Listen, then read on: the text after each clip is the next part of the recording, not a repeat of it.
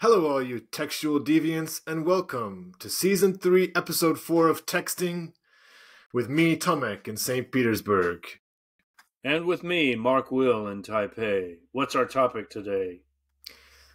Our topic is not a film, it is not a piece of art or a song. It is a concept experience known as high school friendship.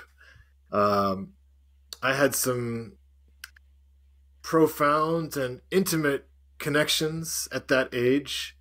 And uh, as I grow older, I sometimes feel rueful that I don't have similar types of friendships. I won't say that my friendships are necessarily inadequate. Could just say that they're different, but the level of, as I said, intimacy um, daily kind of face to face connection that certainly isn't there. And part of that is because of my troubadour lifestyle. But uh, it's also perhaps a phenomenon of being an adult or living in 2024. So lots of different reasons why I don't enjoy that type of connection anymore. Uh, but anyway, for me, it's an interesting topic. I hope it is for you too, Mark. What is your initial response to the topic?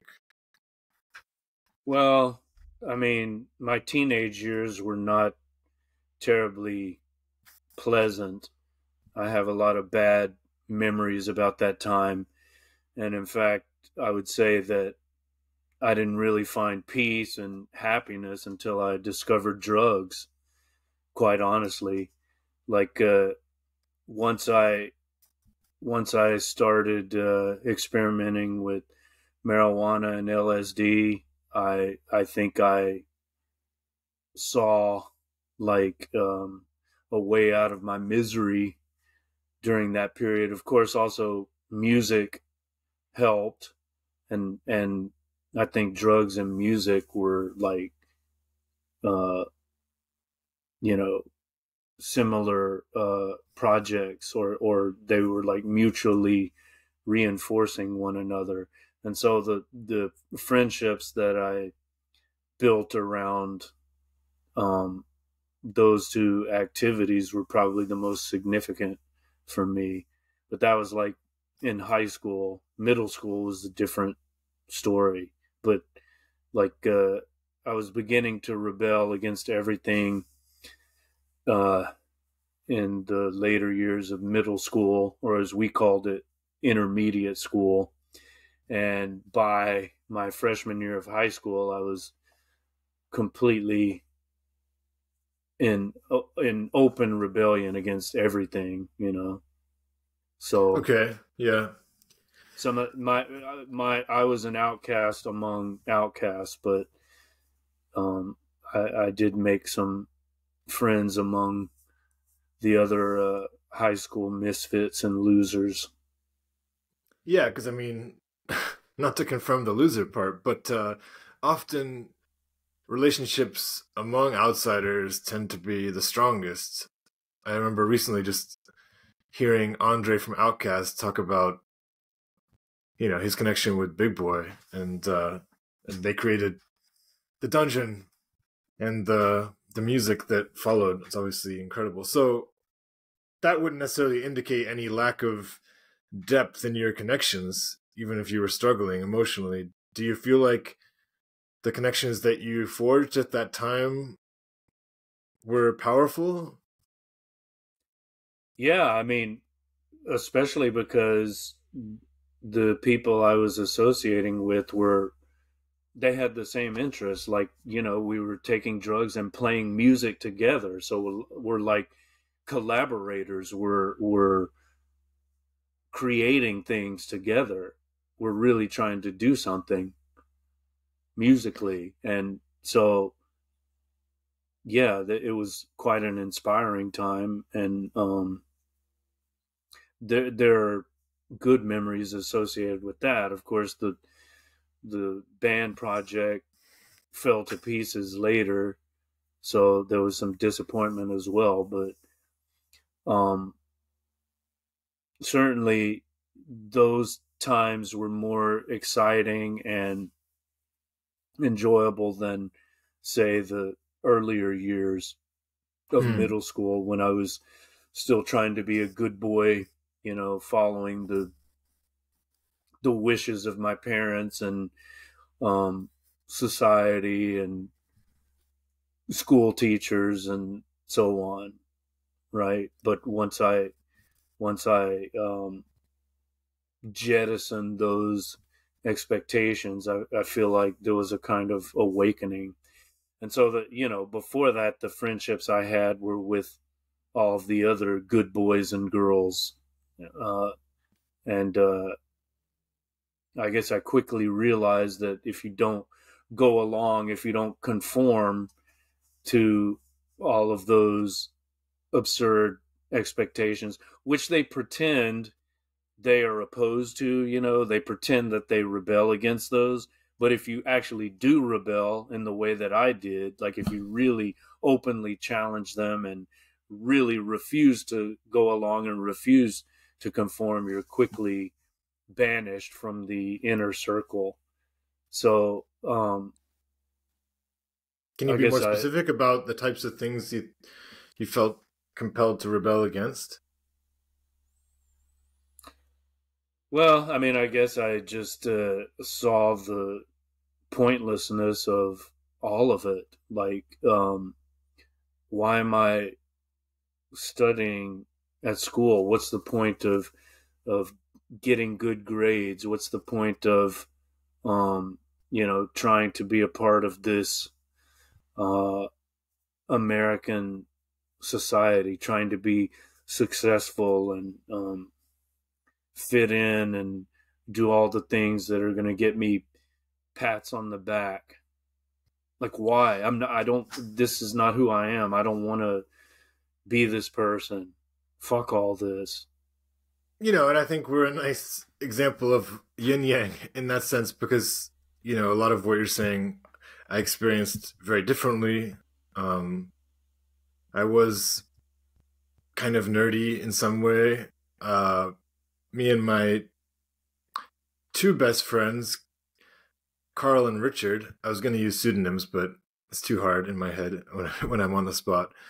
But uh, yeah, we all cared a lot about academics and uh, about university and but we did find ways to kind of still express our individuality. Uh, Hip hop became a major source of connection for us, and that was like a small expression of rebellion because the kind of group I think that was the dominant group in our advanced classes, they were more like the preps, um, who dressed more like Abercrombie and listened to more quote unquote like white music. And uh so yeah hip hop was massively important. Uh my friend Richard and I were hip hop dancers so we kind of experienced it not only at school but outside of school we got to meet different types of people than we associated with at high school older people, people into breakdancing. Uh, but yeah, in terms of, you know, even just thinking about now, like I'm the teacher who's like pushing my kids to get every assignment in, you know, and to go for the A. So it's not really, but again, it's not an either or in terms of like what's good or not good, you know. Uh, but I would say the aspects of school that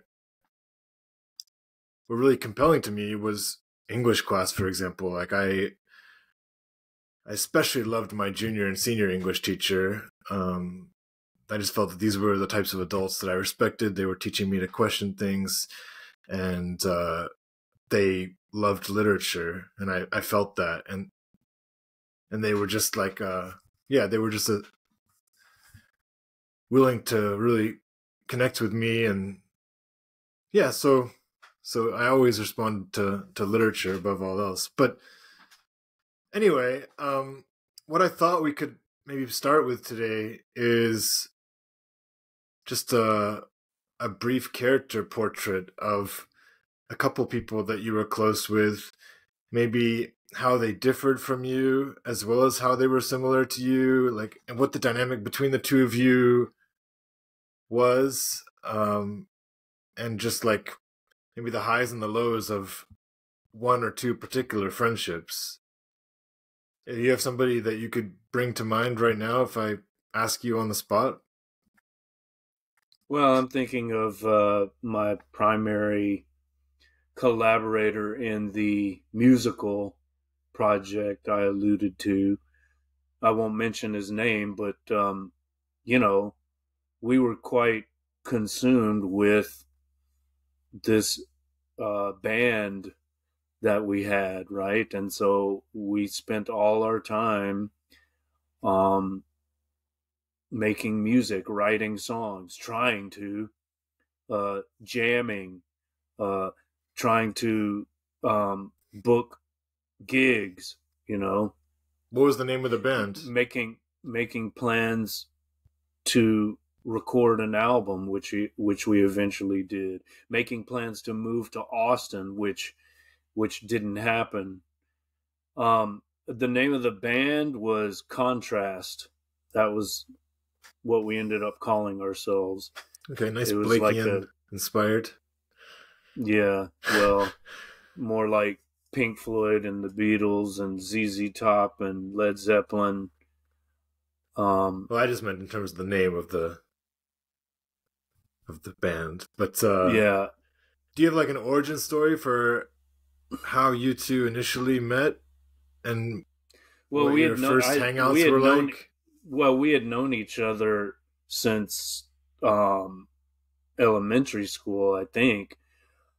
Uh, and his stepsister took piano lessons from my mother. So, you know, I knew him from the neighborhood. I knew him and his family, but we didn't really become close until we, um, I guess, when was it? Were we 14, I guess, uh, probably the first year of high school, we both were taking guitar lessons from the same wonderful teacher. Now, you, you mentioned adult mentors. Nobody at school, uh, I didn't respect any teacher at school. I thought they were all idiots and I wanted nothing to do with any of them. I thought they were all just feeding me bullshit. But looking back, do you feel my, like you were overly harsh? Not really. No. I, I looking back, I think maybe I was, I should have been more dismissive of of some of those people. Like they were, they were like, you know, not only worthless but harmful in many ways. Um, but this guitar teacher was I think I mentioned him before in the um, when we did the Jeff Beck episode in season two. But um yeah, he was uh he was a wonderful mentor for both of us. Uh, a great guitarist, taught us a lot about the instrument, taught us a lot about music theory, and he was just a kind, good man you know, he was just a good male role model for uh, teenage kids. Um, and so I think we, we Where did the studied with him. Place? There's a local music store. And, I was to um, say like a guitar center or something. That's what I imagined. Yeah. Yeah. There's a local music store and he gave lessons in the, in one of the back practice rooms and um you know th- this other kid that I knew from elementary school um and I saw each other at lessons and we started talking and then we started jamming together and we would try to apply what we learned right? Like one of us would play the the chords and the other would try to solo like over the the scales we were learning and and we quickly realized we can create music of our own you know and so nice. we just we just uh, were so eager to learn more and more, and we we compared influences. We had different influences, but like we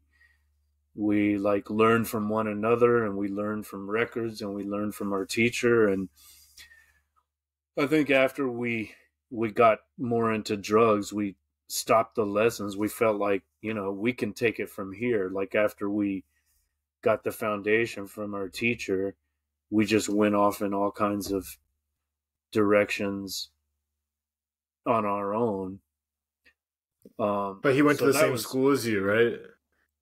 Yeah, yeah, we were in the same Did he high school. Also, and, drop out. Uh, I think he ended up finishing, but you know, not with honors. Let's put it that way. And and every day was the same. Like uh, we we did. There was a music theory course, but you know, every day we would show up stoned.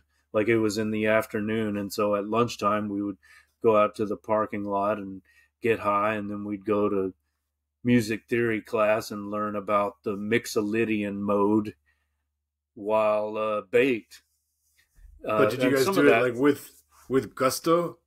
Yeah, some of that was youth. Uh, some of that was useful, but you know, the music theory guy was a um, was a choir teacher, and he, you know, his interests certainly weren't the same as ours. But he was a he was a nice man. I, I won't say that you know his influence was harmful we we probably could have really been better students.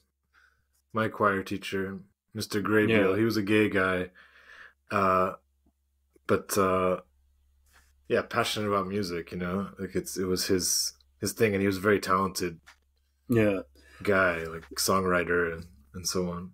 Well, I mean, I took what I could from that, but more than anything, I wanted to quit as soon as possible and you know, my plan was to just focus on music, take the band to Austin, and uh, you know, see what happened with our with and our some other band members, obviously in tow. Yeah, and they all punked out, and so um, I was left with a demo, and I I could have gone to Austin myself, but I, I sort of felt deflated and demoralized, so I I, you know, ended up not doing that, but um, getting more into n- not going to Austin and trying to start a new band or make it as a songwriter or what, whatever vague plan I had. But instead, I I got more into literature and um, you know studying. So right, I went to right. different went a different way. But yeah, the those those uh, were important to my formation, I guess. Those those years when um, we were focused on the high school band. Cool. So for me, I had like two important figures, as I said, Richard and Carl, and uh, I don't know if I've talked to you about them before, but Richard was uh, Baptist. Um, he attended like a quite significant church in Phoenix called North Phoenix Baptist, and uh, I had like huge admiration for him as a human being because he was so stable, um, and uh, he yeah, he never got ruffled. He was very moral, but not in an obnoxious way at all. Like humble as well. He had like a slight lisp. Um and uh he excelled kind of at everything but didn't stand out at things.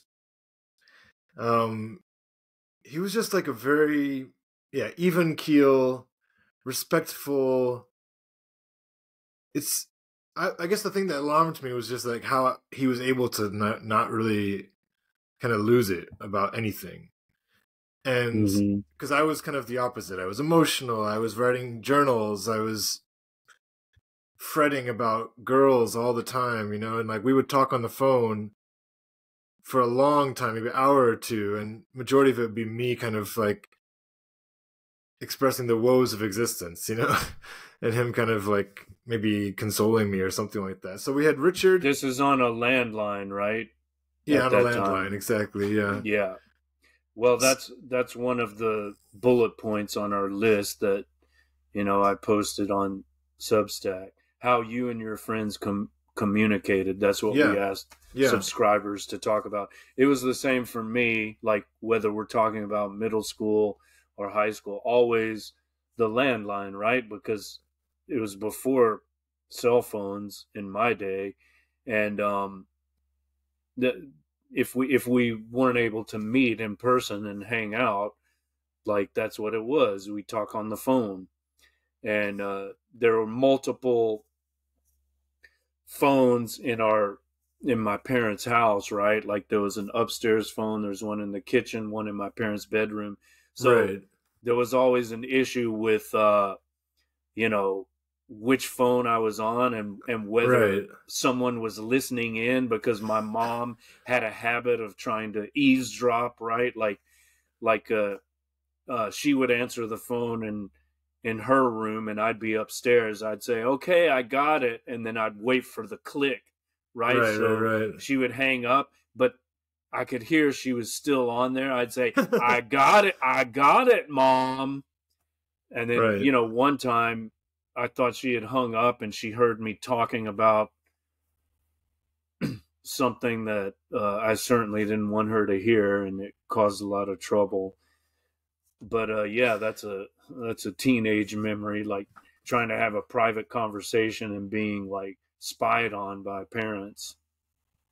And also, though, like the fact that I would talk to another male for more than an hour, you know, the but no ever thought of like any kind of gay vibes with that, you know? It's just hearts to hearts going for such long periods. I mean, you could say that you mean we like do we're doing now. exactly, but now, but we do it with the pretense of like the publishing stuff, right? But,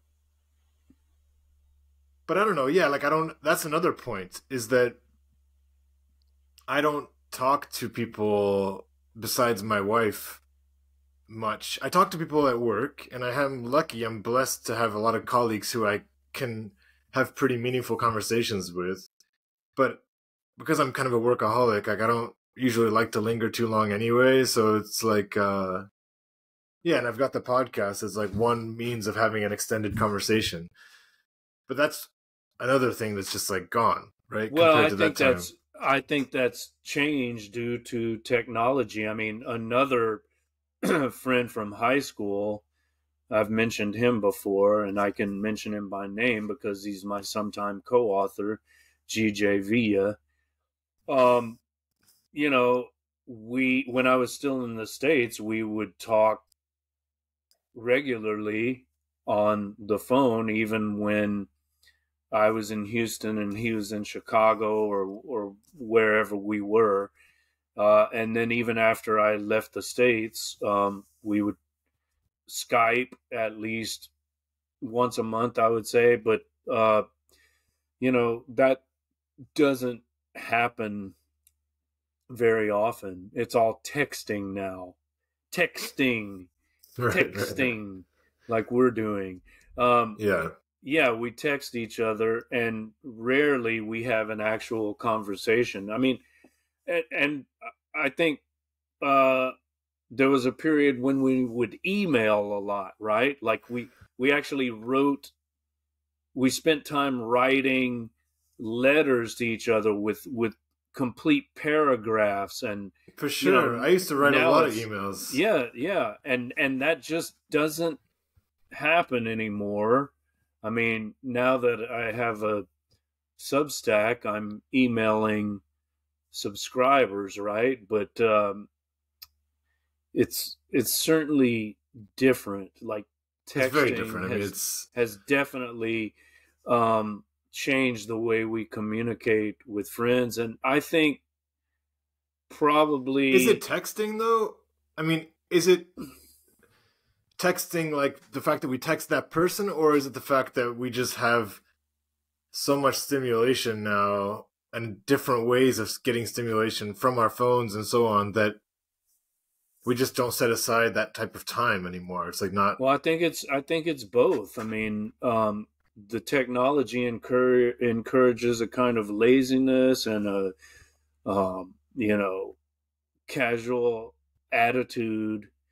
I mean, I never. My imagined... point is, sorry to interrupt you, but like you're not having because you could if you were having the same length and the same depth of conversation on text, then I don't think it would be as much of an issue.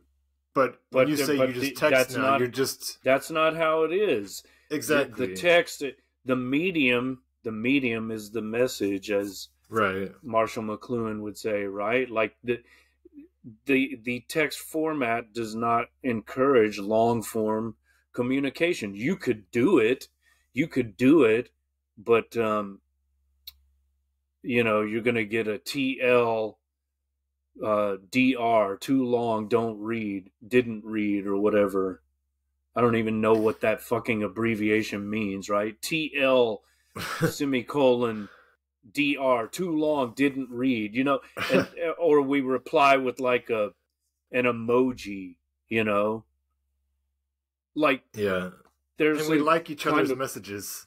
yeah, we like it. We give it a thumbs up that is like I mean I do it, but I can't say I approve of it.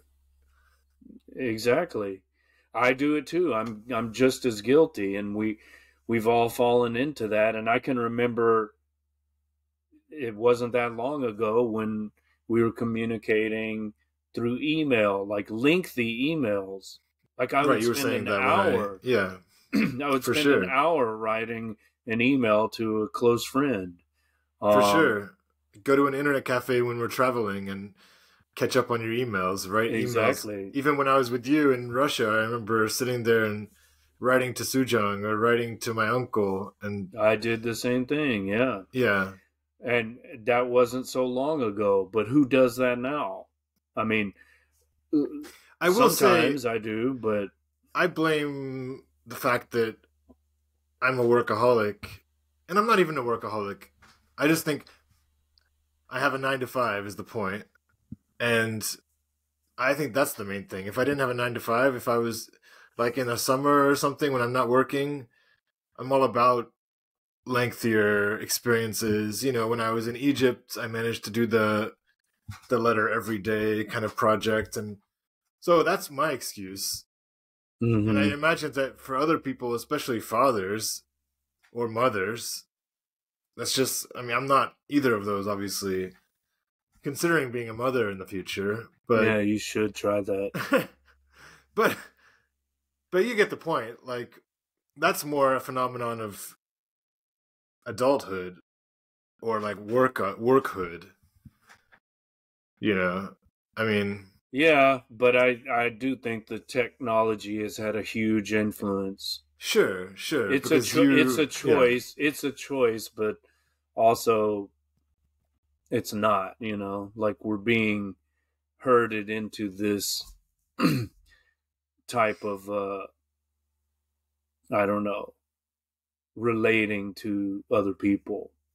Right. Like if we want to be part of the the contemporary world like by default we almost have to participate in this. Although, you know, I have a, a friend, a new friend that communicates only by email. I think he has a phone, but you know, he he likes to communicate by email. So that's well, and I've got a friend, Aiden, who friend of the show.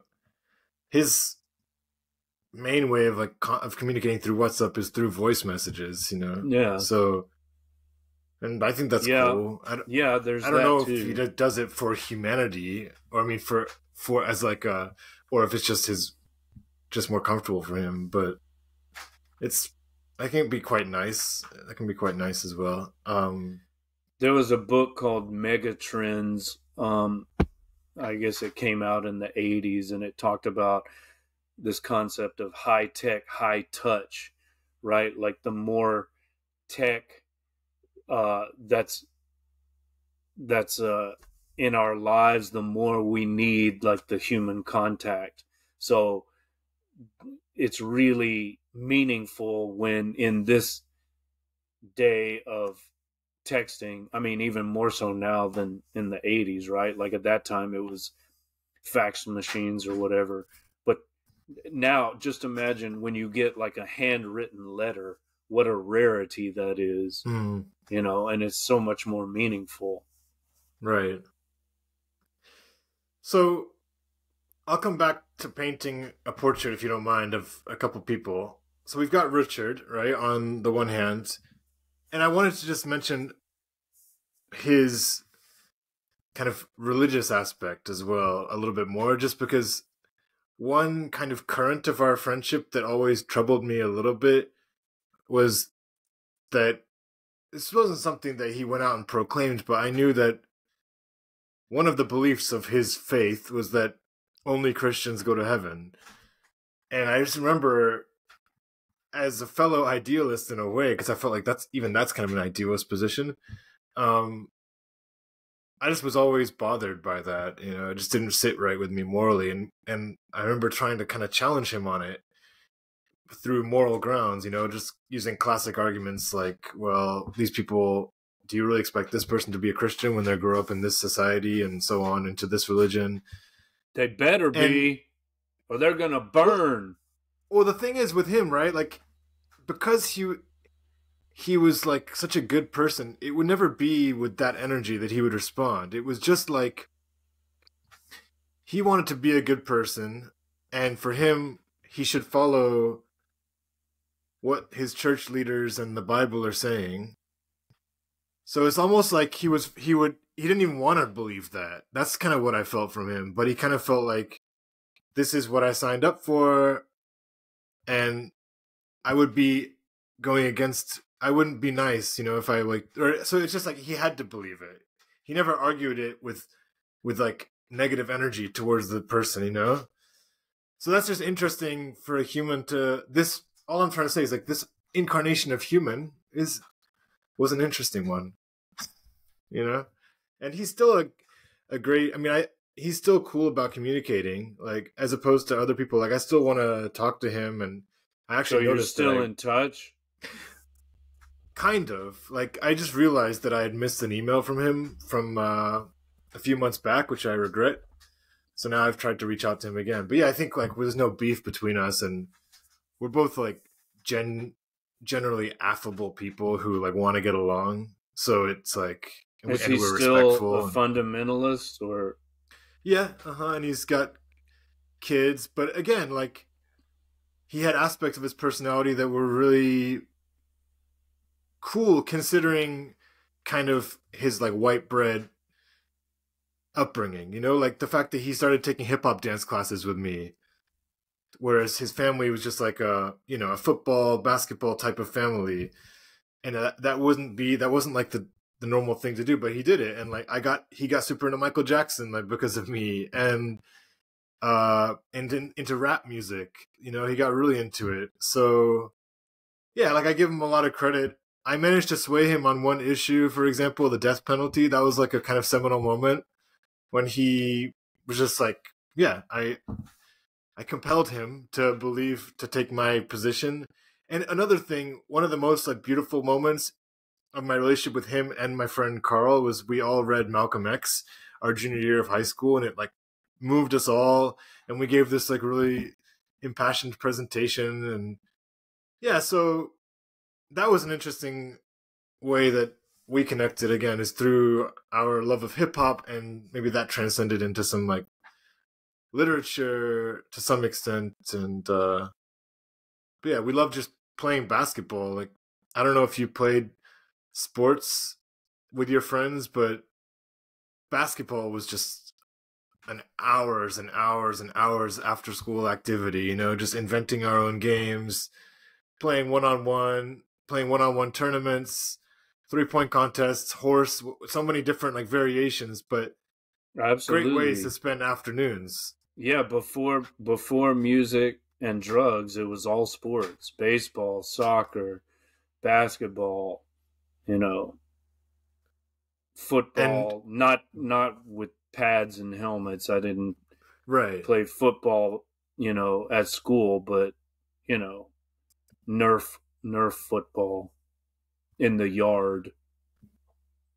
But yeah, mostly baseball and soccer. That I did play at school. Uh, again, before before music and drugs became, you know, my primary concerns. But uh, yeah, I'm looking at the list here um, and thinking of trying to think of one crazy anecdote of an experience you had with friends in your teens. I don't know if this is crazy, but like there was a period when mostly middle school, I think, like we were into various forms of vandalism. Like it began with with uh wrapping people's houses, you know. TPing, yeah. We called it wrapping, but yes, TPing, really? toilet papering. Yeah, we're gonna wrap let's wrap her house, let's wrap his house. Was and, that like your term then? No, that was just a you know, Southeast Texas term. Interesting, yeah, because um, oh, was massive my, though for us. My, my house got wrapped last night. I know who did it too. We're gonna we're gonna get them next weekend or whatever. And so that was a that was a big thing, right? Like you you you get on your dark clothing, you go out, you sneak out after midnight, you got your rolls of toilet paper that you've stolen from the from the bathroom of the house where you're spending the night, whether it's yours or your your friends. you've got some shaving cream too, you know, and so we would we would like use the shaving cream to spray messages on the driveway or on the car. And um I mean, it got to the point where um we didn't even know people that well uh certain people that well like they weren't even friends but it's just like i want to i want to wrap someone's house or car and so we would just like just uh spray shaving cream on the the car across the street. It was insane and then it got like more extreme like we would burn we would burn old um tennis shoes right? Like we would we would spray paint them and then light them um, we would egg houses and cars. Like we would we would jump up out of the bushes and throw an egg at, at a car. I mean, dangerous stuff. Someone could have a fucking accident. And one yeah, time, yeah. one time we, we got eggs like, once, and I was not I was not okay with that. I mean, I think I felt like that was crossing a line. Yeah, we, well, we we went to those extremes. One time we were like running around um, hiding in bushes. I don't know what we were going to do. Maybe knock on some doors and run away, right? Ring a doorbell and and uh, run away before they they answer. We did that. Doorbell ditching, I believe, is the term. Yeah, well, there's another uh, Southeast Texas term that's a bit more offensive, but anyway, okay. um, yeah, we did that one time to the house of uh, of a young man who ended up chasing us, and he caught my friend. I I got away, but he caught my friend, and he he grabbed him by the collar and said, uh, "Don't ever do it again." my friend was scared shitless. This boy was older. Turns out this young man ended up uh, being one of the most notorious murderers in U.S. history. Like he moved up north and he he tunneled under his neighbor's house and um, uh, tortured and murdered her in her basement. That's, this, is, this is the, this, is, this is a true story. This is a true this story. This is the guy who grabbed your friend. Yeah, not your friend. Yeah, and this kid was horribly bullied in high school. This is where I came from. He was horribly bullied in high school to such an extent that he wouldn't even like use his locker because the the football players he was a total This is the killer we're talking about. Yeah. He was a total nerd, um, misfit, freak, and not like the kind that would hang out in the boys' room smoking and taking drugs, but just like a very strange character, bullied relentlessly by the football players and the jocks, the assholes.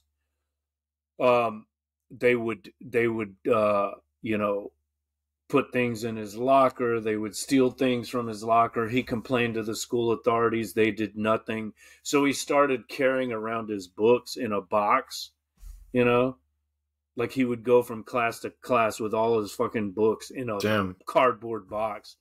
And one time, one of the football players um, caught him on the stairwell, pushed him down the stairs. You know, he fell down, all his books scattered everywhere the school authorities did nothing. Oh, it's just the jocks. They're just having fun. Kid grows up to be a a murderer and I think rapist. He was you can you can find videos of this guy on America's Most Wanted or something, you know. Like Thanks uh, for listening to Texting, Season 3, Episode 4.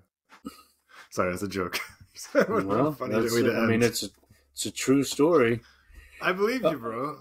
and uh, so anyway we we were involved in that kind of thing and i remember one time i guess we were i don't know what we were doing we were just involved in you know one of our night raids like we would just go out and try to find trouble. And um i was like hiding in some bushes and uh this spotlight shines on me and um it's the cops. And um I came out with my hands up and he says you don't know Hands up, You- don't shoot. you don't know how close you came to getting shot right now. And I was like oh. Apparently a cop had gotten shot and they were looking for the shooter and so they almost shot me thinking that I Damn, was son. yeah so that happened in my little southeast Texas community um All right, I'm going to jump in with character profile number two. okay you're gonna just All right. cut Well, me what do you off want there me to do? Well, carry on. All right, so we've got Richard, the Christian fundamentalist. Then the other part of the triangle is Carl, who today is the communicator of WhatsApp, director of communication for WhatsApp. Uh, Okay. so I grew up with someone who,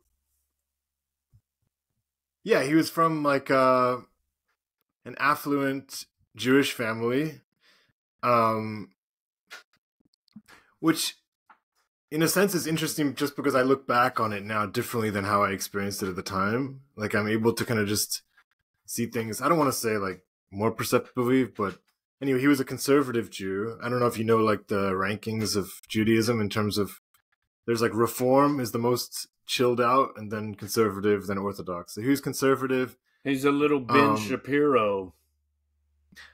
I don't want to say that because I mean, again, this was he was my life. You know, he was my life for many years because I had basically the same friend group from third grade until I graduated high school, Mm-hmm. um, and we were like pretty devoted friends. Uh, a few ups and downs, but with me and Richard, it was very, very consistent. And then the third member of our group would sometimes vary. But yeah, I mean, with Carl, it's just interesting because he's he worked for first of all he became the president of Boston University, uh, like the student student government student body president, student body. Then he was not like the dean. no, but he's approaching that type of lifestyle. I mean, he then I don't know exactly know his career trajectory, but uh, you can find his stuff on the government websites because he was former deputy assistant to the Secretary of Defense for communications. Uh, so yeah, he worked in DC a lot. Um, he received the Defense Medal for Distinguished Public Service. Um, the Department of Defense's highest civilian honor. He worked, I guess, closely with. He previously served as the deputy spokesman for Secretary of Defense Chuck Hagel and Secretary of Defense Leon Panetta.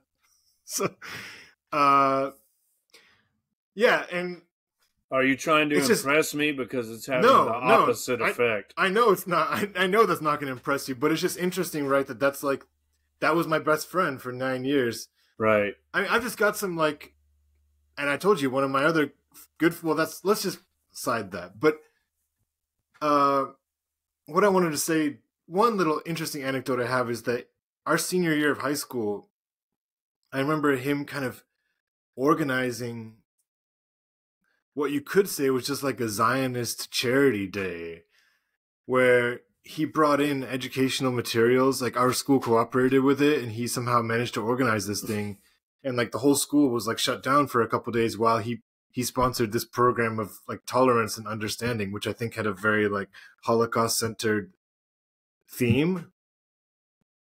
And I don't want to be overly cynical about it now, but I can't help but feel a little bit like, wow, this is really like part of a larger Zionist project, you know, because uh, he was the president of United Synagogue Youth uh, of his like region at the time. So he was every couple weeks he'd be going to LA for conferences. And an interesting thing is he was very much like a Monday to Friday friend.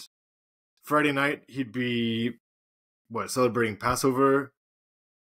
Is that what they do every Friday? I sound horrible right now, but Shabbat.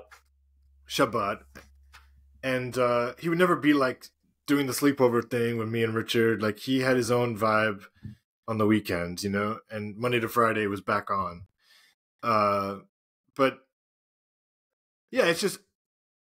I guess the one thing I want to add is like the first time I tried to hang out with him at university, I had already started to change. You know, like I started becoming more like rebellious and bohemian my freshman year in high school. And I started high school pretty young, so I was 17 when I was when I started. Sorry, when I started university, I was 17.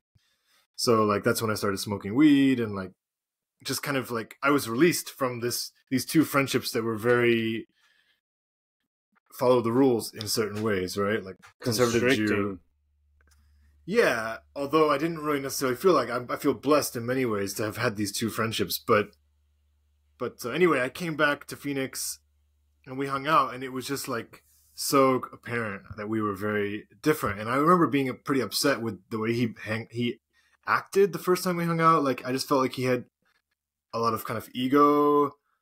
Uh, the way he talked to like a girl at the mall, like he kind of I think he gave her his business card, and he was just trying to act like super suave, and I was just not in that vibe at all. I was trying to like become more yeah alternative, as I said, and it was kind of depressing and we lost touch you know? I think we hung out one more time when i was canvassing for the dnc for in 2004 or so. I was canvassing for kerry You're admitting my that first job. publicly.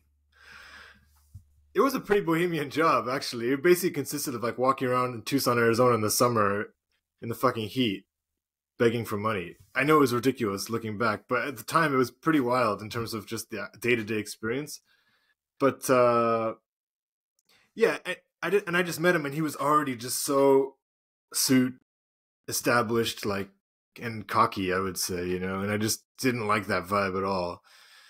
But it's just weird too like how inaccessible he feels now as a human being to me you know like i just wouldn't even reach out to him despite him being so significant to my life for that period. That's just weird. So do you have any not to like be too like oh talk about me but do you have any response to this like triad that i've described?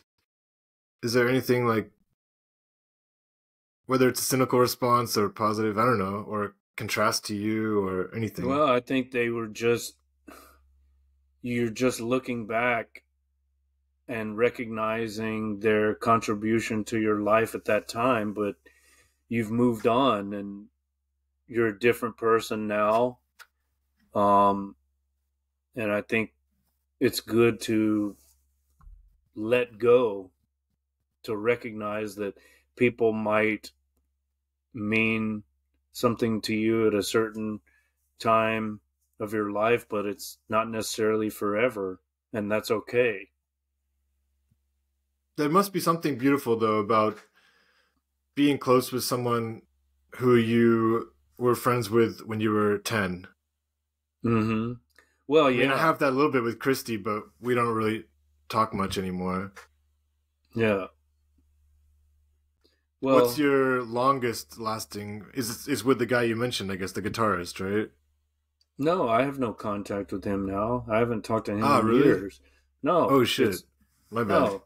GJ Villa, my sometime co-author. We're Okay, and We're you met still- him in high school or in teenage I- years? I met him when I was uh, in pre-K. We went to the same pre-K.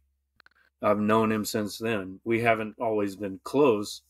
Like we went to different elementary schools, but we met again in middle school and we were friends in high school and we became we bonded in our college years. We were we went to different universities, but you know, we would always meet um during the holidays and we bonded over our mutual love of literature uh and so you know we've we've always read books together we went to Ireland together in search of James Joyce and we've been working on a series of novelettes about that trip and all of all of it all that that trip entailed and meant for us. Um, Do you feel like maybe he knows you better than anyone, anyone in on this earth? well? I wouldn't say that. I mean, Well, No. who does then? well, not a male friend. That would be a female friend. I would say. You know, there's certain Despite the fact that you haven't been with your female friend for the same duration of time. That's my main point. If someone I don't know. I don't. I don't know how valuable it is to make those comparisons, but there are just certain levels of I'm not saying like your that best friend, I'm saying No, someone I'm who saying- can like I'm just saying on, there there are levels of intimacy that that uh, you know I don't share with male friends, and there's I don't know a kind of platon uh, platonic intimacy that um, I wouldn't necessarily have with female friends, although it's not impossible. You know, it's just there's just a different. I still feel like you didn't really like I still feel like that's not necessarily uh contradicting my question though because I'm not saying the person you love the most. I'm saying the person who knows you the best. Well, what part knows what part of me? You know, like that. That's true, but I'm just saying, like, my I whole d- point is like I meet people now. Sorry, I'm just gonna go on for just a second. Like I meet people now who at work, like Carlos. I think Carlos is awesome, and I we get along really well, but we don't have an opportunity because of him being a father, our schedules. We don't have the opportunity to really create the kind of friendship that I used to have. You know, like we again, that's not me trying to like go and get treat have you be my psychologist or something. I'm just saying that and, and this is a cliche that people say it's harder to create friendships when you get older. And my point is that if somebody has seen where you grew up, for example, they know what it's like to grow up there. I guess a sibling is often the person who ends up being the person that we feel like they hmm. probably have the. I get put it this. Hmm. Maybe it's just about reference points. They will Not- understand your reference points. Not for me. Not for me in terms of siblings. But Okay, but reference I, I've ne- points. yeah, I don't accept that. I we saw that kind of thing in Korea, right? Like the the people who were classmates, like the whole the whole concept of the classmate was so important. The person that they went to kindergarten with and and grew up with and then they meet later and they feel all sentimental because they went to school with each other. Oh, that's my classmate. I I'm sorry that just doesn't have the same sentimental value to me. May- Maybe because I hated school so much, you know. It's like I don't give a shit about that. There there are other ways of connecting that are more important to me. It's shared interests and yeah, background is is important, but there are a lot of people from the area where I grew up with that have similar reference points and would know what I'm talking about when I talk about certain things related to that particular place, but uh, you know, I have no desire to connect with them. I'm I'm totally estranged from those people. So what can I tell you? Am I am I failing to answer the question? I think No, I like that that's healthy that you have differing perspectives. I'm not at all like Okay, well, I mean, I just offended that, or something, you know. No, I just think that question like who knows you best? Like I have to say what It's an interesting question. Okay, but I and I'm answering it by saying what aspect of me knows what? Like me as I am now or me as I was? Of course, like people that I've met later, they don't know uh what I was like growing up, but you know, if I took them back to my hometown, if you want to call it that, or if I took them to Houston and showed them places where I lived and worked and you know hung out and so on, they could understand more. Of course, it's not the same as being there at the time, but I'm just trying to say that does that mean it takes time to develop comfort with people. Well, absolutely. I don't. That's I don't disagree with that. But you know, And to create like a common language all and like right. uh, but also, well, sure. But also, longevity of acquaintanceship is no guarantee of intimacy. At the No, same time it's not, but- yeah. In fact, It's it, not, can, it just- can often be. It can often lead to the opposite. You know, familiarity breeds contempt, as they say. That uh, yeah. that also happens. I just I don't sentimentalize that, you know, like oh, he's from my hometown or uh, she's the girl next door. Fuck off with all that. I don't care. I'm just observing though. Even like even if we take away the the judgment of like this being better than something else, it can be something as simple as like I've chosen to be an expat. There are a lot of things that are cool about being an expat, and one thing that you could argue is a challenge or something that you sacrifice is quality of friendship or you know that like I Ah, do think that I see what you're getting at now. Um I don't know. Like does being an expat um necessitate having more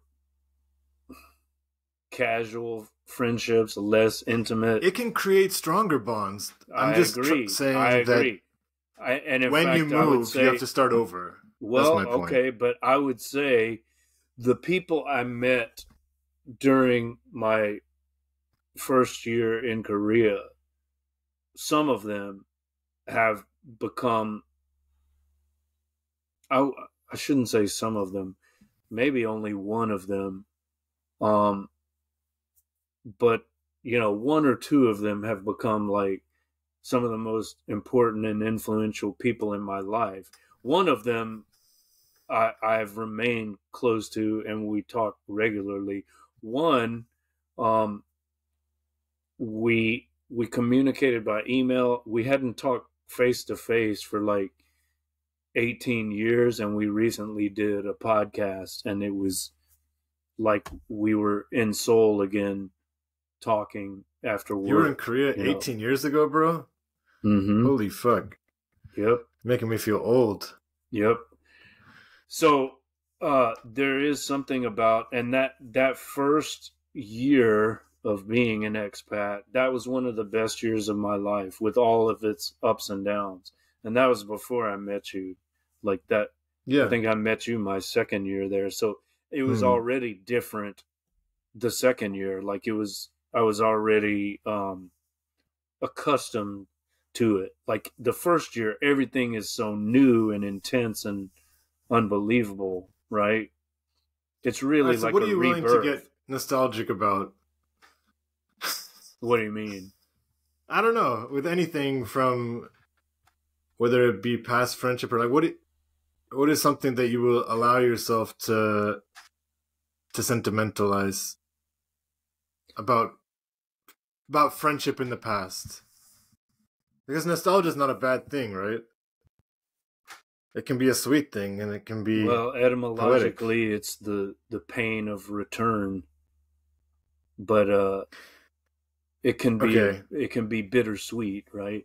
Um, I'm at the same time, I'm not I'm not saying I have no fond memories. You know, I'm not saying that. Sure, but what what do you what can you feel? What can you feel wistful about without? And again, I I would argue that you can feel wistful or nostalgic without that being any kind of negative judgment on your present incarnation. Well, if we're talking if we're talking about the teenage years, I think the the happiest times for me were when I was with that group of friends that was playing music and experimenting with marijuana and LSD, tripping, you know, getting high, listening to music, having philosophical conversations, opening our minds to the the the possibilities of the wider world, you know, realizing that oh, we're just in this tiny little Southeast Texas community. This is not the whole world. Not everyone is a fucking cowboy. Not everyone is concerned only about football. You know, it's like we can we can listen to Dark Side of the Moon. We can listen to the White Album. Uh, we can try to write songs of our own. We can create something. You know, we can make music. That's that was very important to me. Um, yeah, when you say that, music for me is you. You know, music plays a very prominent role in your life still because you're constantly creating but as far as like the listening experience, I still put a lot of effort into making sure music is part of my life, but it's nowhere near as powerful for me as it used to be in terms of first of all me keeping up with what's going on second like i don't smoke weed anymore and like a lot of my i had so many incredible music listening experiences mainly at university but just like you know listening to hip hop high and just having the the lyrics just come out at me just really well, like I was there in the booth. Well, you know, there is something about the communal experience of listening to music with other people, right? Like where do we get that now? It's not like um we can often hang out and listen to records. We don't even do that. We have like a streaming service. Okay, you could still hang out and listen to an album on Spotify and skip the ads. I, mean, I have vinyl don't... to be fair, and, and I've listened to vinyl with with friends. Okay, yeah, very rare occasions. Uh, yeah, yeah, okay. It's it's possible, but you know what I'm saying. It's it's more difficult to make it happen, probably. Um, but I don't I don't know. Maybe not for you. For me, it, it is. Um, but you can still go to a concert and enjoy music with strangers, I guess, or go with friends. Um, but just talking about it is a joy for me. I like talking about music. I like, uh, you know, discussing favorite albums with someone who also loves that particular album and going track by track and analyzing it. So maybe all of this is a result of the of that early teenage experience of doing the same thing, right? Like when we're okay. listening, we're we're analyzing, we're trying to understand, we're trying to incorporate bits of what we're hearing into our own creative efforts. Um, so yeah, but I keep that communal experience alive. I see you with your finger raised, but I'm going to complete. I'm trying to this. avoid the interruption. Vibe. I'm going to complete this thought. I keep Please. that. I keep that communal experience of music alive by playing with other musicians now who are performing my songs. Like that is a joy to me to to present this this song that I've written and then fleshing out the arrangement uh, the arrangements with other master musicians you know? I'm sure that feels amazing no doubt. So my question was just going to be I can't, and again, maybe I could say that's medication, even speaking, but I can't get the same ecstasy from music as I could as a 16 year old or 20 year old. Well, that's even, a whole. That's can you? A whole, that's a whole other conversation. I mean, well, that's what I'm asking you. Like, if well, you listen, can you get the same? Not. Maybe not. It did. We're more jaded. Um, we've heard it all before. At the time I discovered that stuff, it was just an unbelievable experience. Now we right. think now we think we've seen it all and heard it all and done it all. So uh, I don't think that's true, but it it's harder. I don't know if it's jaded though. I it's harder it's... to find it's harder to find something that blows our minds like, you know, maybe it did yeah. then. But, uh, but I think maybe that's because not necessarily jaded, but just just life experience. Yes, okay. Yeah. But we should still but I think I'm still chasing that. I think that's why I'm still involved in music. I'm still writing songs and recording them and and playing with people because yeah, I, music I want that, can be very fulfilling. I Agreed. want that.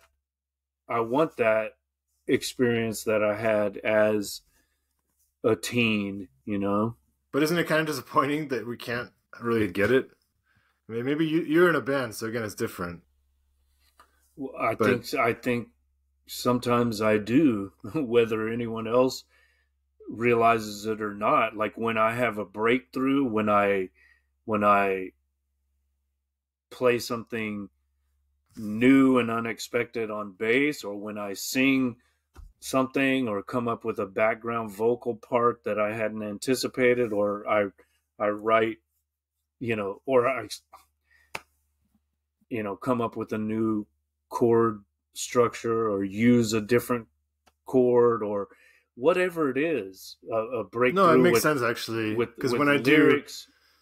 Do yeah when i was rapping it was the same so I, I could still definitely get really high and like I was rapping until I don't know 10 years ago so it wasn't that long or you know or 8 yeah, years but ago, it's so. the it's the same thing with with writing you know when you find a new way of yeah expressing something or uh, you know when I start a new book and try to do something different always trying to make it new as Ezra Pound recommended um that's why you keep doing it, right? You're always trying to experience that ecstasy, which which yeah, and I think my melancholy is just coming from the fact that I don't set aside the time, or I can't set aside the time somewhere in between those two words to on the on the purely creative process, you know. So well, I anyway, I would just to, to relate it back to our text,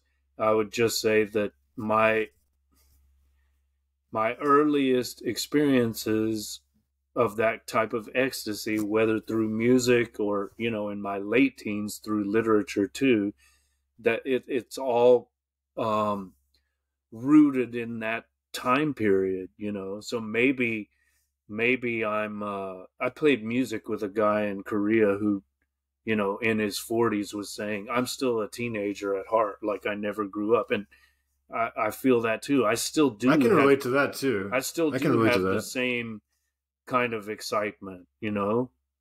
In my 50s, I still have the same excitement that I had as a teenager, like whether it be about a new song or a new book. And so, in that sense, I'm yeah. still, still in certain living, aspects of life. I feel that I'm sure. still living my teenage life, and it's sure. with other things too. Like it could be a new film or a new uh, uh, place I haven't traveled to, you know.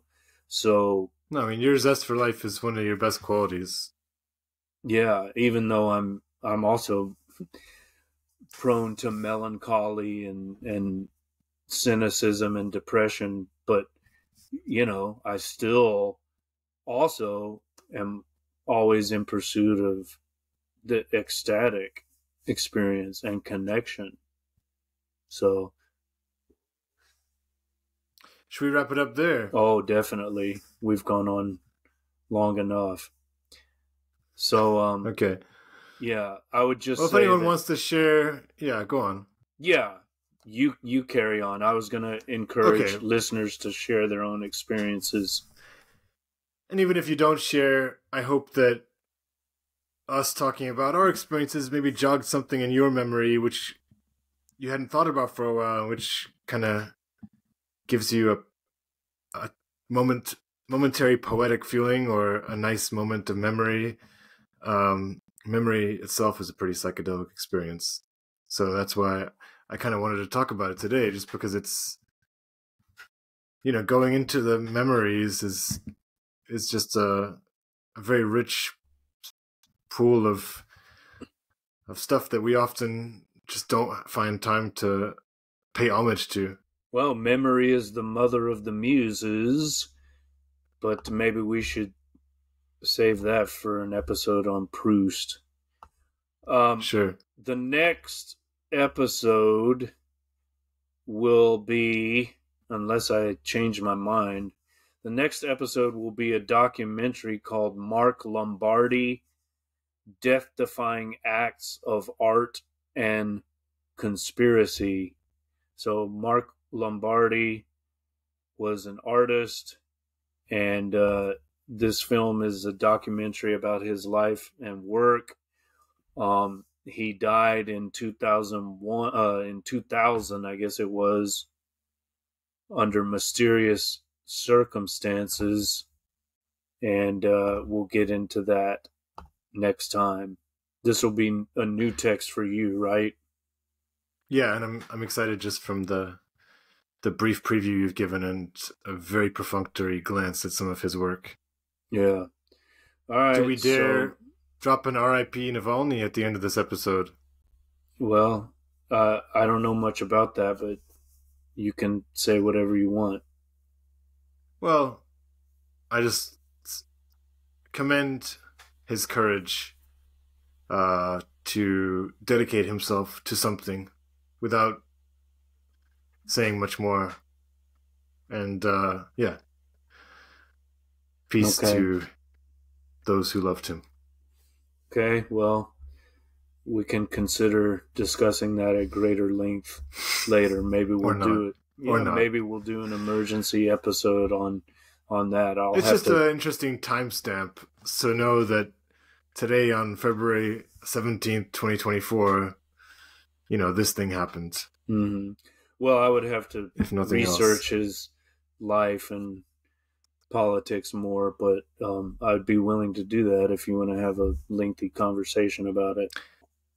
I think I need a break from uh, Russian politics. I'm also okay with that. All right, so thanks everyone for listening. Be sure to like, share, subscribe, donate. Um, I don't know how you would donate. I do have a Patreon, but um, I'll have to find the link to that later. But uh, like and subscribe, comment, and uh, you're making faces. I don't know what that means. Uh, Nothing, just for fun. Okay. Well, anyway, I'm at markwillwrite.substack.com. That's Mark Will W R I T E dot substack dot com, and Tomek is at Tomek b dot substack dot com. So hit us up there and let us know what you think and we'll see you next time. До.